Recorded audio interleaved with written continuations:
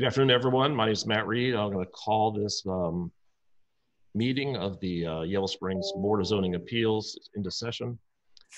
Uh, Judy, could you please call the roll? Yes. Reed, Here. Osterholm, Here. Salmonson. Here, Also present are Village Solicitor Chris Conard, Planning and Zoning Administrator Denise Swinger, Public Works Director Johnny Burns, and Village Manager Josue Salmeron will be facilitating the meeting. Thank you, Judy. Uh, We have uh, an agenda in front of us. um, uh, Review of minutes, um, public hearing uh, primarily. Um, Does there- anyone have anything to add or detract from this um, agenda? Um, If not, the uh, first item on our list is a review of minutes that um, Judy circulated earlier today. Um, Did, Tony, did you and uh, Scott, did you have a chance to review those? yes, I approved them. Okay, Scott, do you have any comments or do you? I'll approve them now. I finally got to get a chance to read them. Okay. And I'm okay with the part that uh, I took place in. Um, I was only there for half the meeting. Um, So I guess, uh, do we have a motion to approve those minutes? I make I'll the second motion that. to appro- I'll make the motion to approve the minutes. Uh, Yes, Chris? Uh, Were some members of BZ, cur- the current constitute, currently constituted BZA not present for the minutes that are being adopted? Everyone was there. Okay, all right. Um, Well, there is a question. Chris, I was only there for half of the meeting. Well, if that's the case, then the, the, the motion would be to adopt the minutes rather than approve them. Because the minutes reflect the, the action, and by adopting them, the person who wasn't there is not attesting to the accuracy of events that he or she did not observe. Um, So and I, rather than approve, it's adopt. um, can I, I also had some amendments uh, to it, which I gave to Judy. They were minor. They've been Uh, made. Yeah, Huh? And- I made them. Okay. They're Okay, non-substantive. so, okay, right. So Matt, if you feel more comfortable that the motion should be adopt the minutes rather than approve because you were not there for part of the meeting, then I would suggest that we start the process over with that. Well, Chris, I wasn't even, I wasn't, I wasn't going to vote and just, we still have two votes, right? Is that my- No, you'd have to vote, Matt. Okay. Okay. So let's just, if, if, and if, Tony, if you can change your motion to motion to adopt, then adopt. all three of you can vote. I make the motion to adopt the m- the minutes as published with uh, the corrections Judy added. I'll second that. All in favor? Aye. Opposed? Thank you. Thanks, Chris, for the clarification. Uh, The next item on our list is the public hearing uh, for um, Springs Home Inc., 1133 Xenia Avenue. Um, Since we're doing this um, remotely, the, our normal process will be changed here a little bit, but it'll be very similar. Uh, How this goes typically is um, is we hear from village staff and then have any questions for staff. Then we'll hear from the applicant and, uh, and see if there are any questions there directly for the applicant. Uh, Then we'll open a public hearing. Uh, In this case, if you'd like to comment uh, during the public hearing, if you can either raise your hand on the video feature or uh, using the Zoom feature for raise your hand. Um, uh, And that will put you in the queue and our moderator will, um, will queue you up then. And, um, and we'll go down that list. And then once those comments are all made, then we'll close that public hearing. Um, and then that'll, the matter will then return to, uh, BZA and, um, and if there's any further questions or comments, and then we'll have a vote. And, uh, and that's how we're gonna try to do this. Um, the pub, open public, public hearing like normal, if you can please keep your comments to two minutes, two minutes or three, uh, that'd be, um, helpful. Uh, and with that, Um, I guess I'd like to begin this public hearing. Uh, Denise, can we first hear from you? Sure. Uh, Describe the, uh, the applicant, please. Sure. Um, uh, February 11th, we held a planning commission meeting um, for a new pocket neighborhood development. And this is located at 1133 Xenia Avenue. Um, This pocket neighborhood development um, is uh, owned by Yellow Springs Home Inc. Um, At that meeting, there was um, some concern from the neighbors because of a um, designated a fire lane that was going to be on Woodrow Street and would not allow for any parking on the north side of Wood, Woodrow Street. This was a concern to the neighbors that lived along that street um, because that they rely on that parking. Um, it's a congested area. Um, it's not a very wide street. So uh, one of the conditions was that uh, the planning commission uh, figure out a way or with staff to meet with um, Springs Home Inc. and try to come up with a resolution um, that the neighbors would um, be able to live with that would um, provide parking. Right, the what what Home Inc. offered at the time was uh, five or six parking spaces within within their existing, but they were already at the maximum level for their own uh, uh, units that are there, which is one and a half. Um, they had 12 units. This was, and they had 18 parking spaces.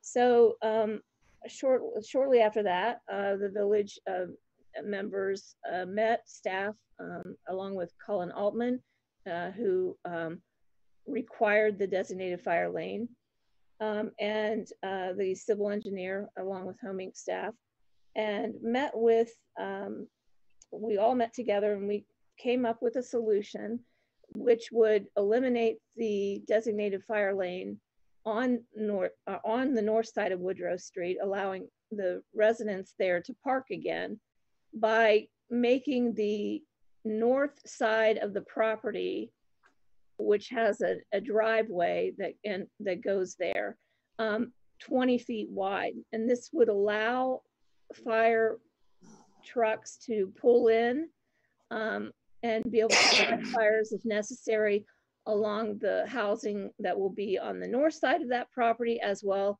as they as being able to pull in on Woodrow Street for houses that are along the south side of that property.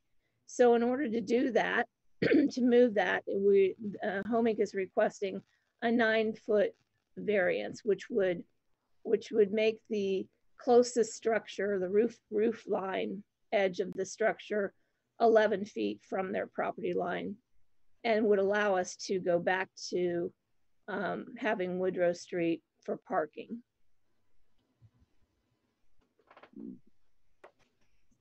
And that's my, that's it. Okay. Uh, Anthony or Scott, any questions for Denise? Nope. Uh, Tony is on mute. Oh.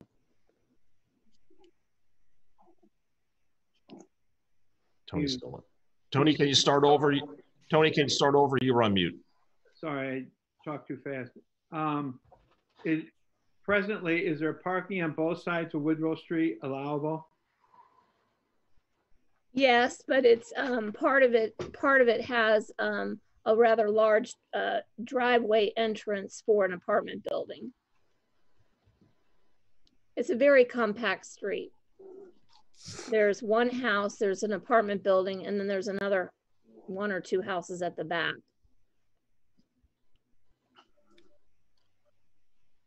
In, in the, is it, it looks, and the, the view I have, the, the, the parking slots, are those for the apartment building? Yeah, so I, I have, let me sh- share it on my screen here. Let me share it with you. Um,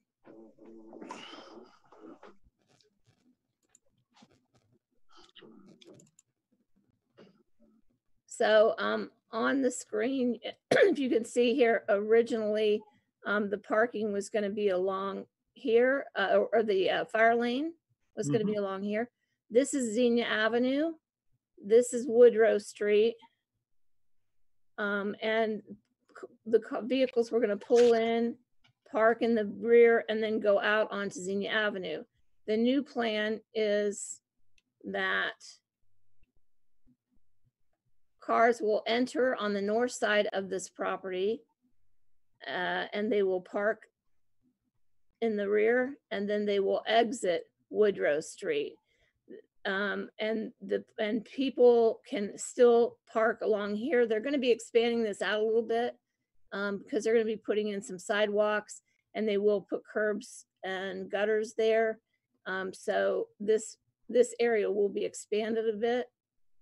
Uh, but Woodrow Street, by doing, by changing that design, there won't be this two-way traffic from the residents going onto Woodrow Street either. So Thank you. Den- Denise, when they make those changes to Woodrow Street, how um, much wider is the street going to be? And is, how far from the property line will that curb be? Uh, I want to defer to Johnny. Um, he, he knows the width now and how, how, if you want to ask him, he's here. Right, excuse me, right now, the width is probably about, I'm gonna say thirty-five feet, but the road width is actually sixty by the time it gets done. The new road will be 60? Yes, So you won't have a problem getting in there if there's cars parked on both sides of the street? no. Okay.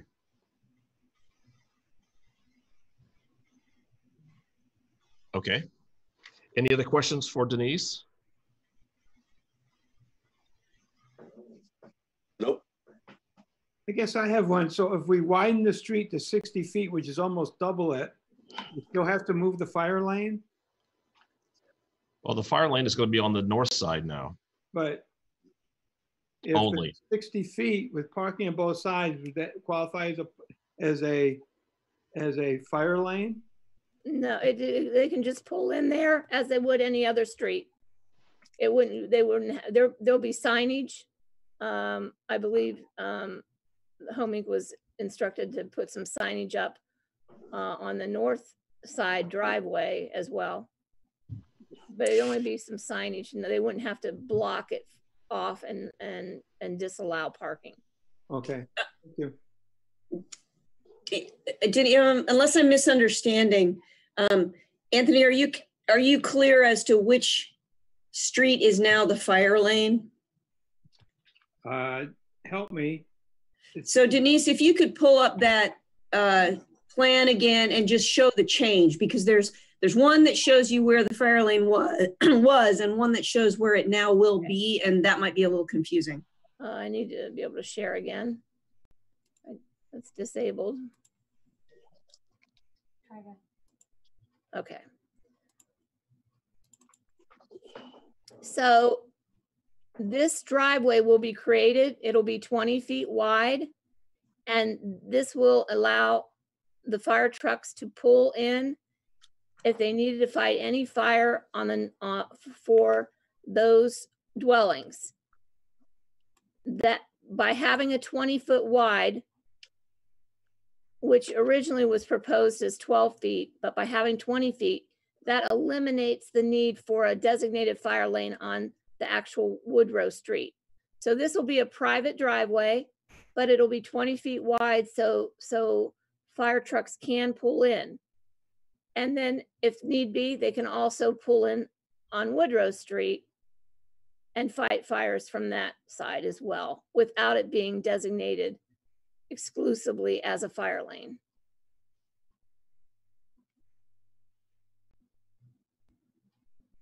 Does that explain? th- thank you, Judy. It makes it clear, but I just, if you're doubling this, the street width, and I don't know the rules for a fire lane, there can't be any cars parked in a, on the street if it's a fire lane? It won't be designated as a fire lane, so yes, the cars will now be able to park on the street. If they had not had the ability to get in on the north side of this uh, proposed development, they would have wanted to make sure that no cars parked on this side. Yeah, okay.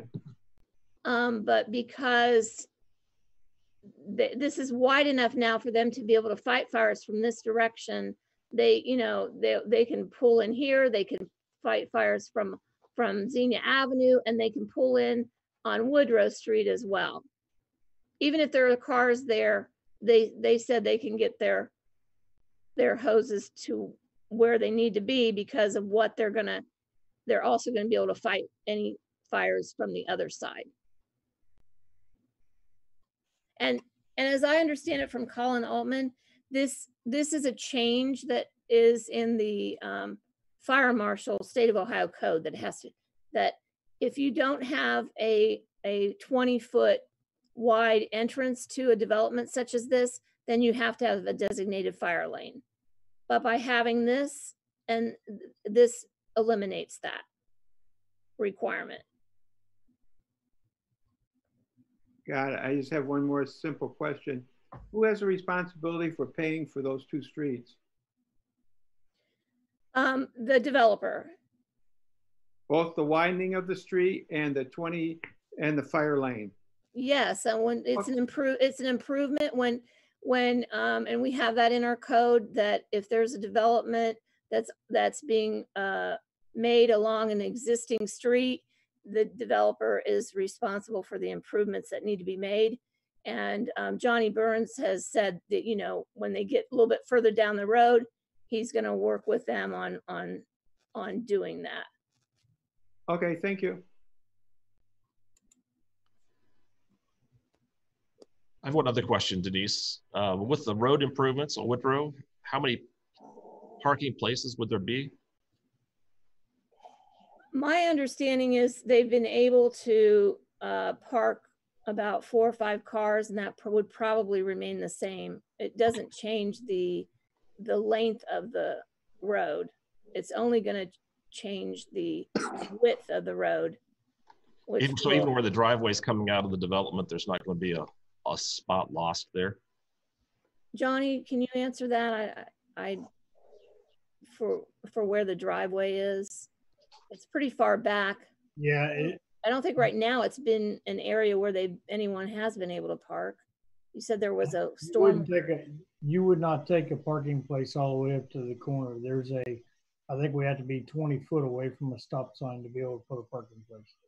I mean, down on the other end, Johnny, on the uh, east end. Where the driveway comes in. On the east end, you still, we gotta be able to maintain their drive coming out, so we can't cram a parking place right up against it. And I think their engineer will do a great job of making sure that we have the maximum parking, but being able to make sure that they can enter and leave, uh, without any interruptions. Okay, thanks. Because the fire, the fire truck, if they go and they come around the buildings, there can't be a car parked right against that exit because they gotta be able to make that wide turn. Right.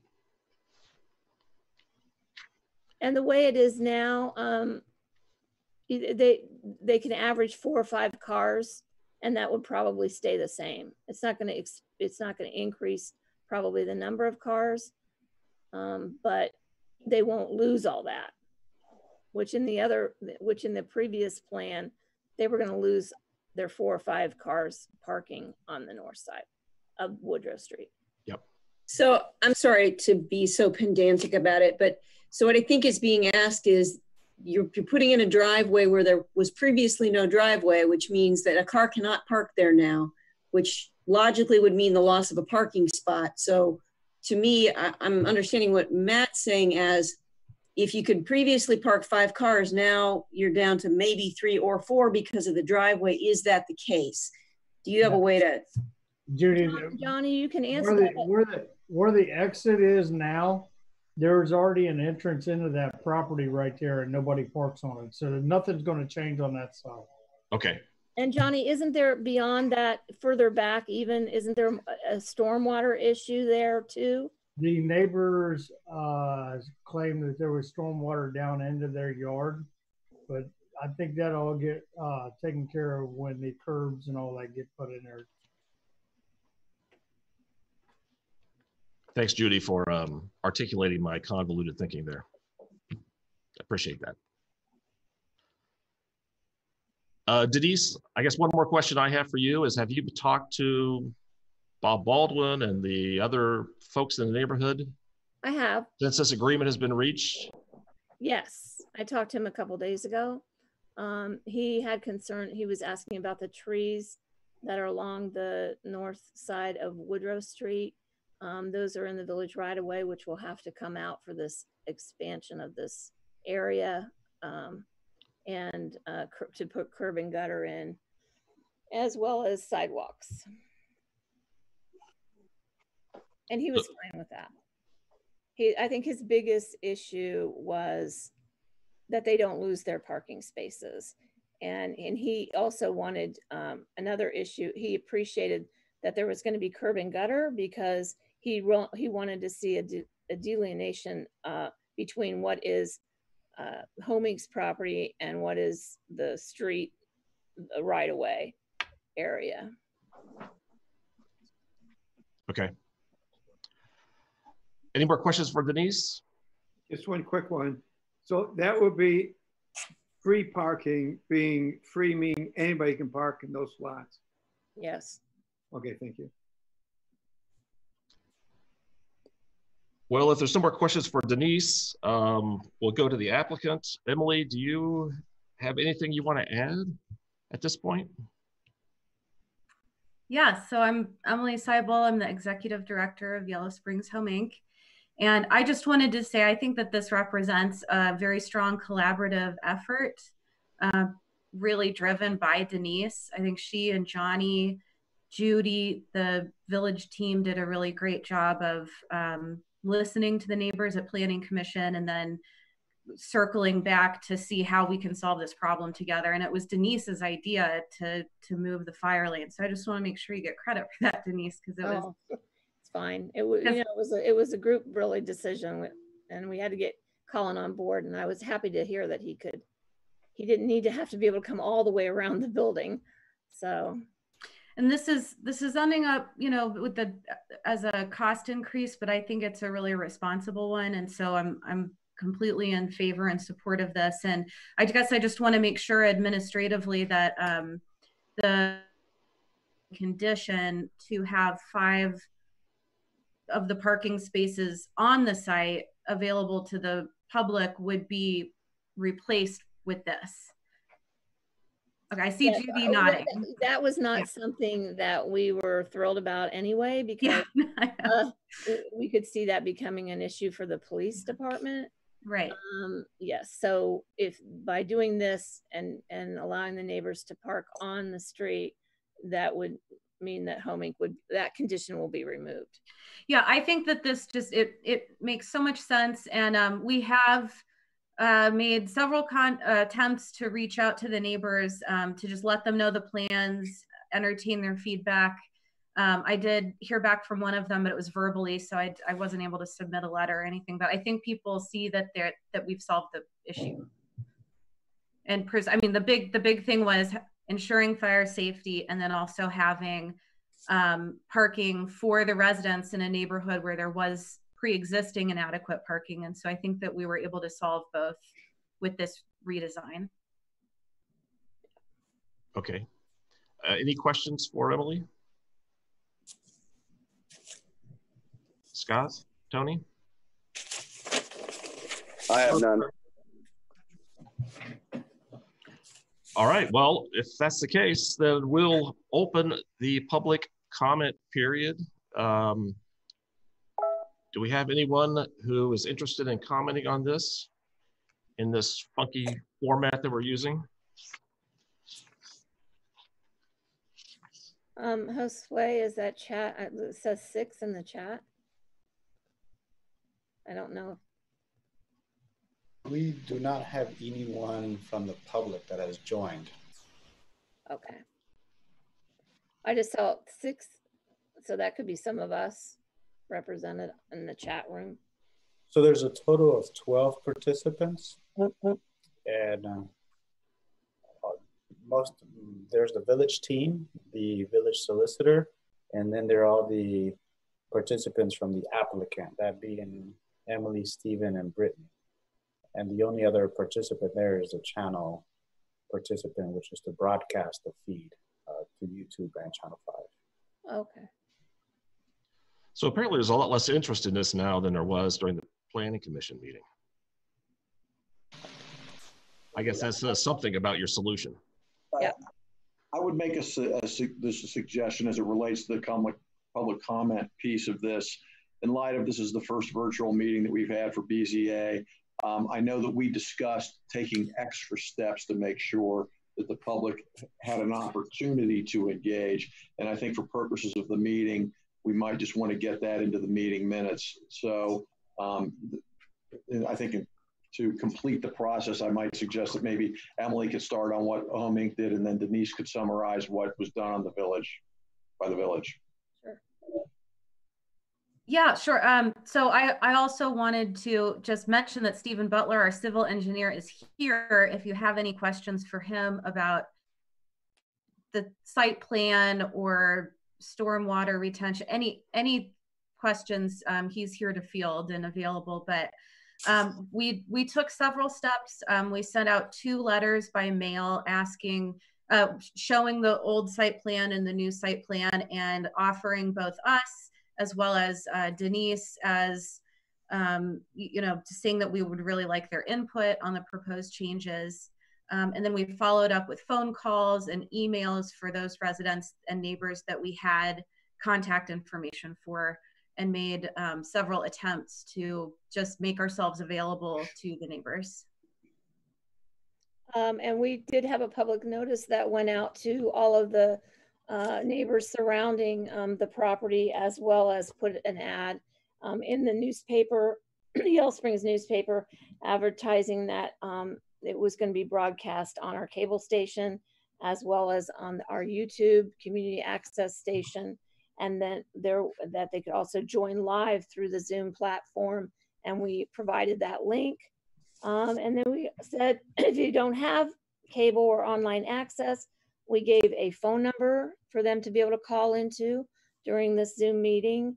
Um, and then if they wanted to, they could also write or call either Judy Kintner or me and express their concerns or questions. Then Emily, in regard to the feedback that Home Inc. received, were there any, uh, any of the neighbors who indicated they had any objections to the uh, revised site plan? No, we didn't receive any word of any kind of objection. We only received um, positive po- positive reactions to the proposed Denise- changes. Denise, same question for you. Yes, actually, um, uh, the Yellow Springs Home Inc uh, did reach out to me to find out if, um, K- Sanford asked if I had received anything at all, po- uh, positive or negative. And I did share, um, uh, Mr. Baldwin's questions and concerns and that he was happy, um, with the alternative. I, I think that satisfies the requirement of the efforts that were made and that the, any community concerns were addressed, uh, either by process or by uh, direct input. Thanks, Chris. Well, if that's the case, then let's uh, close the public comment portion of this, um, this hearing and move forward with our deliberations, Scott and Tony. Um, If, um, Could I ask one more question? sure, out of place.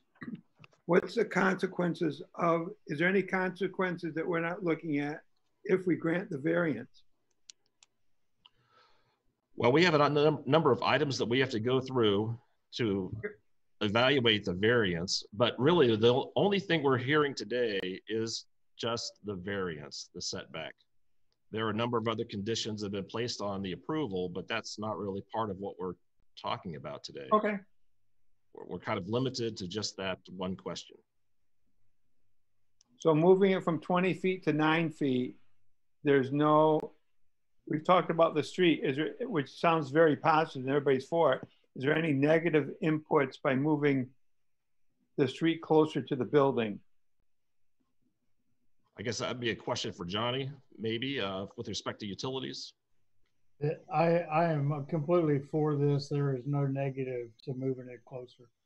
Okay, thank you.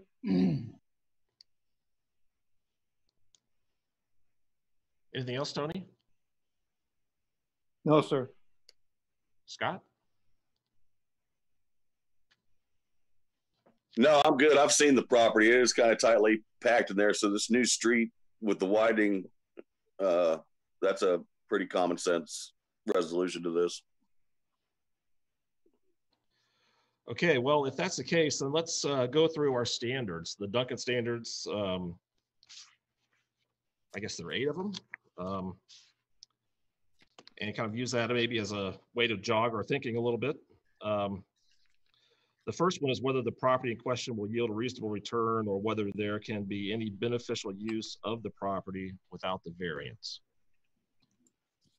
Uh, Personally, I mean, I- the property has not been developed. It's been sitting there for quite some time, but really, this variance is not required for someone else to develop it, in my mind. I don't know if Scott or Tony, you have any thoughts on that? No, the hardest thing is to figure out is how to answer the question. Whether, whether- whether the property in question will yield a reasonable return. I, I, I- I'd have to say yes. Yeah, so Judy, you want to just poll Oh, the I'm Sorry. members as we go through these? Yeah, I, I would say if you, if you want to elicit comment, and then if there are no further comments, then I'll just roll call you. All right. That's, does that work? Scott, any comments? No, I'm good. Okay, Reed, Yes. Salmeron, Yes, Osterholm, Yes, thank you. Okay, number two is whether the variance is substantial.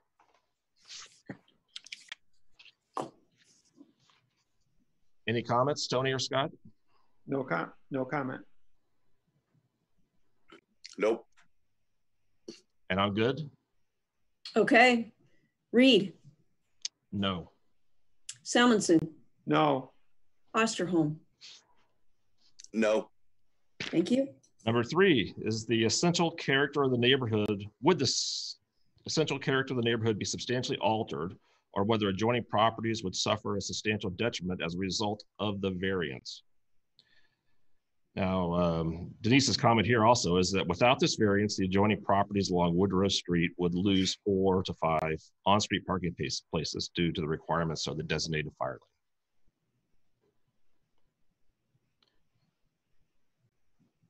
Tony or Scott, any comment? so that question, that actually can mean positive or negative, either way, right? Right.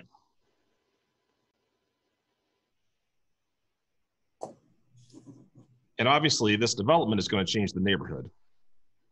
But, The, the, the, it actually is focused, the question focuses on the negative, not a positive. It's Is that right? okay, Substantial detriment, that's the only concern. okay.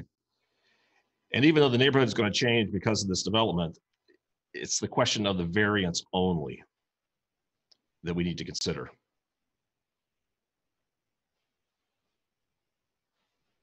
Any discussion?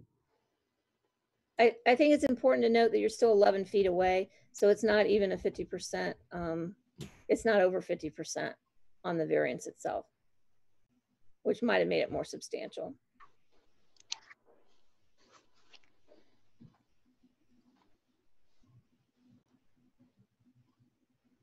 No, I'm, I'm good to proceed. Okay, Okay. All right, Reed, hang on here. I got to make sure I get Chris's determination correct.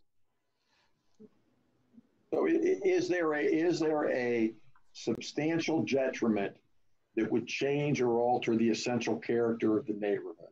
Is the change bad for the neighborhood, is like how I interpret that? I, I said the change is good for the neighborhood. Then that, that would mean that the answer is, uh, no. No. Yeah. All right. Salmeron, yes, okay, Osterholm, No, thank you.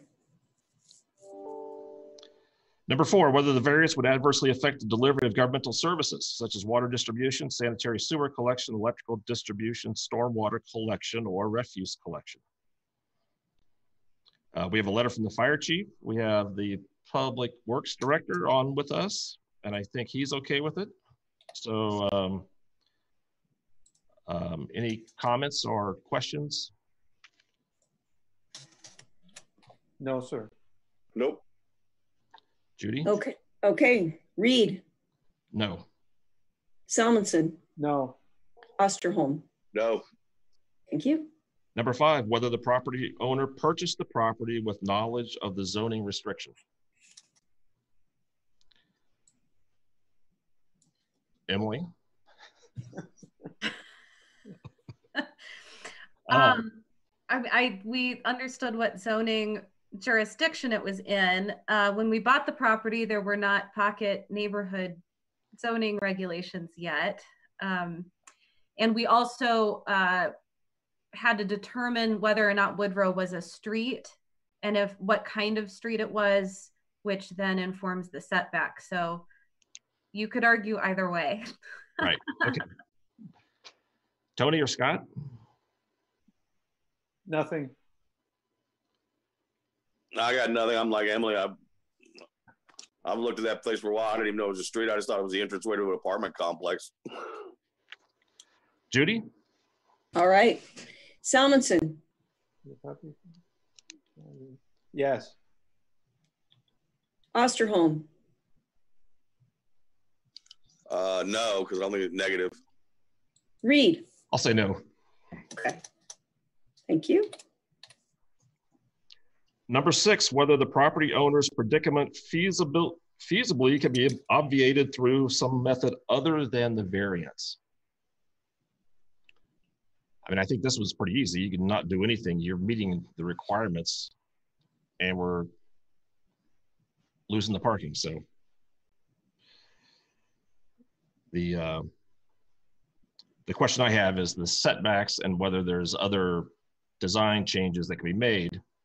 But I mean, I think we're pretty far down this road, so. Uh, Tony or Scott? Nothing. No, I got none. Judy? Okay. All right. Osterholm, No, Salmeron, I gotta read it again. That surprised me. Said that. Yes. Reed. I'll say no. Okay. Thank you. Number seven, whether the existing conditions from which the variance is being sought were self-created. Tony or Scott? Self-created by who? Home Inc., the applicant. Thank you. That's all. That was my question.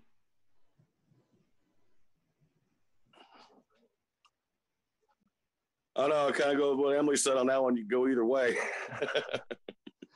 Well, I mean, if you did nothing, you wouldn't need the variance. right. Well, a lot, a lot of these things are always. It doesn't mean it's like they do it on purpose or they're trying to rub it in our faces, but Right. it probably is self-inflicted. But like it was like she said, there was also none of this stuff with uh, the coding wasn't quite there yet or something. Right. Hey. Anything else? All right, Judy? Reed, Yes. Salmeron, Yes. Osterholm. Yes. Okay. And then last, whether the spirit and intent behind the zoning requirement would be observed and substantial justice done by granting the variance. It's the catch-all.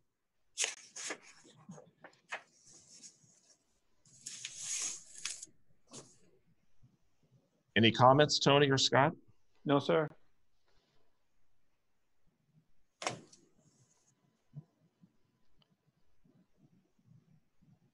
No, I'm Okay. good.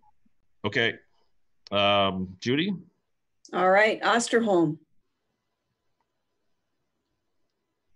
Yes. Salmeron, Yes. Reed. Yes. All right, Scott and Tony, based upon our conversations and the application and word from staff, do we have any other questions for anyone? I do not. Nope. I do not. Any need for further discussion? No, sir. Not on my end. Okay. Well, if that is the case, would one of you guys like to make a motion as to what we should do? I make a motion, we accept the variance as written. I second it. Judy, any further discussion before I have Judy call the roll? Judy? Okay. Osterholm, Yes. Salmeron, Yes. Reed, Yes. motion passes. Congratulations. Any objection, to changing the word, eh, motion to accept the variance to approve the variance request for the minutes, appro- because you're, you're approving the variance rather than accepting a technical distinction, but it will be more clear in the minutes when it says approve the variance request. It's the lawyer in me. Wait, I, I'm not following you. Well, because it's a request to approve a variance.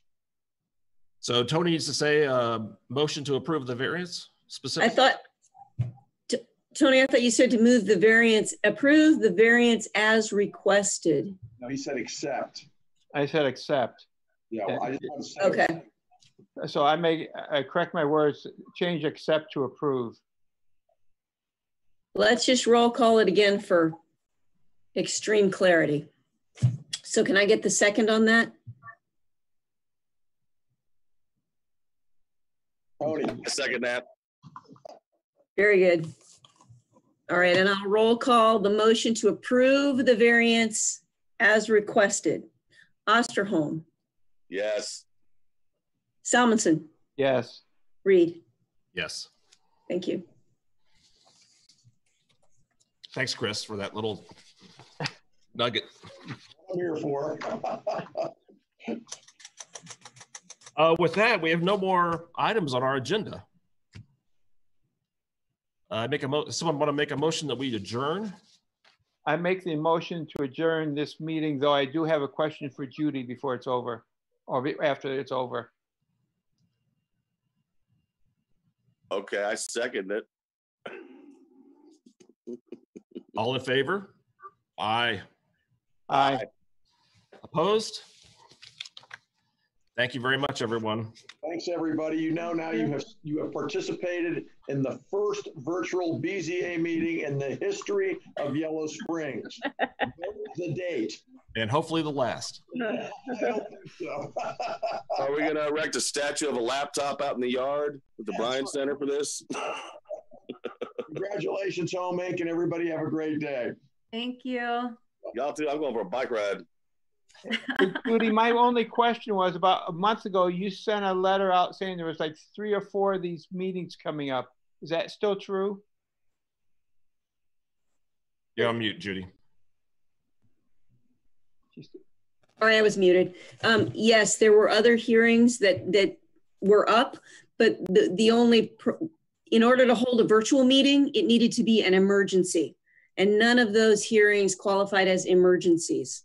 So we'll be, he- we'll be hearing from you after this hullabaloo's less restrictive.